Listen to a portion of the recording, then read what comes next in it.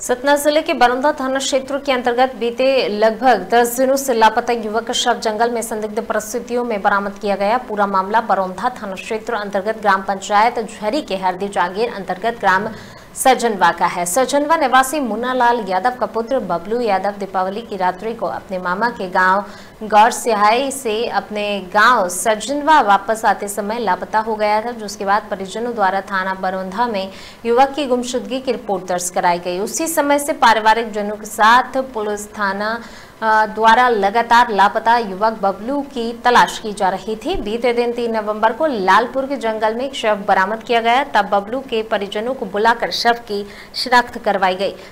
संदेहियों को हिरासत में लेकर फ़िलहाल पूछताछ की जा रही है। थाना